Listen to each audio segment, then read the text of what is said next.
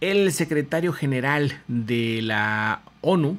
Eh, Antonio Guterres, ha pues dicho de dos escenarios, ¿verdad? Dos escenarios posibles ante la pandemia y no habla tanto a lo mejor de, de en sí de la enfermedad, sino de lo que viene después de la misma. Según el secretario de esta organización, Antonio Guterres ha descrito en un artículo en un diario de Suecia, eh, donde eh, se llama Aftonbladet, eh, y, ahí en ese diario, en ese este periódico, pues pone dos escenarios de los cuales hay el optimista y el pesimista, típico, ¿no?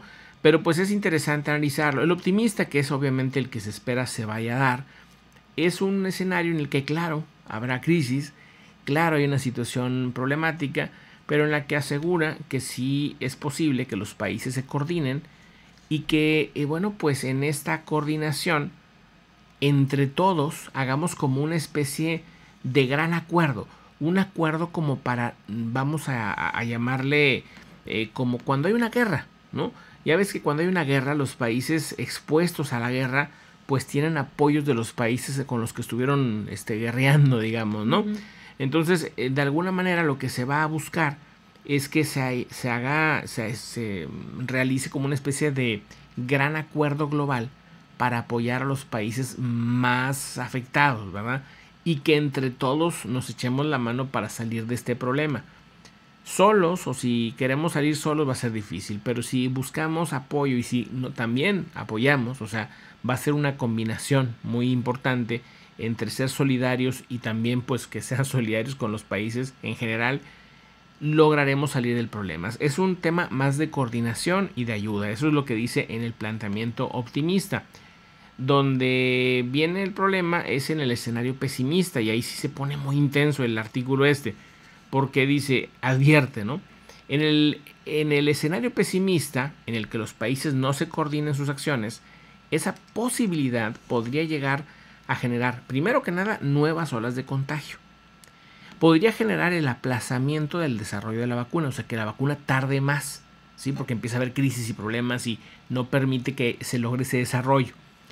También eh, la situación generaría un resultado de depresión global, ¿sí? o sea, económicamente hablando, o sea, habría una depresión global que podría durar hasta 7 años aproximadamente hasta que emerja una nueva normalidad cuya naturaleza todavía sería imposible de predecir. O sea, el, digamos que de, tener una muy optimista se fue a una super pesimista en la que prácticamente el, mundo entero estaría en una crisis global durante siete, de 5 a 7 años más o menos, donde habría fragmentación, habría un aumento del populismo extremo, habría un aumento del racismo, habría un aumento del conflicto, digamos, entre países. Entonces, la predicción más negativa es prácticamente casi imposible de predecir, según él mismo dice. O sea, es, tan oscura que no llega a entender hasta dónde podrían ser las repercusiones negativas. Puedes ver las optimistas un poco, pero las negativas es, puede profundizarse tanto el problema que sería demasiado riesgoso. No sé tú cómo veas.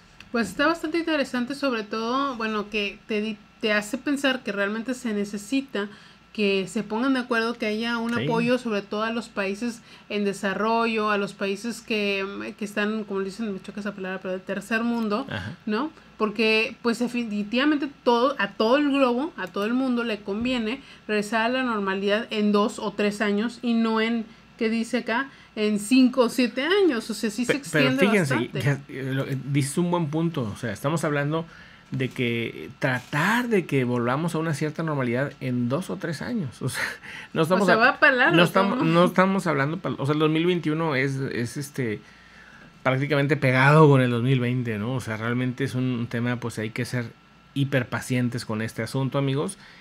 Y, y bueno, pues este, vamos a, vamos a ver qué más escenarios se dan por ahí, pero se me hizo interesante por ser pues quién es este personaje, el secretario mm, general de la misma ONU, que pues bueno, no, no deja de ser interesante. Pues vamos a otro asunto, le mandamos un fuerte saludo a Susana, Rocío, a Cristi, a Alicia, a Ofe, a, Juanjo, bueno, a toda la comunidad.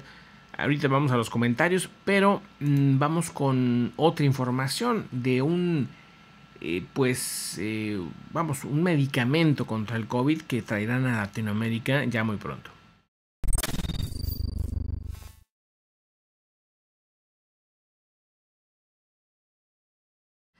Y bueno, la embajada